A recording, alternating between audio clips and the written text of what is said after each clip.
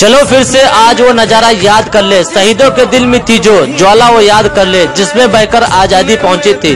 किनारों पे देश भक्तों के खून से वो धारा याद कर ले। प्रधान माया देवी सचिव लाल भैया ग्राम पंचायत सिमरिया मृदा की तरफ़ से सभी देशवासियों को 15 अगस्त स्वतंत्रता दिवस व रक्षाबंधन की हार्दिक शुभकामनाएँ देते हुए।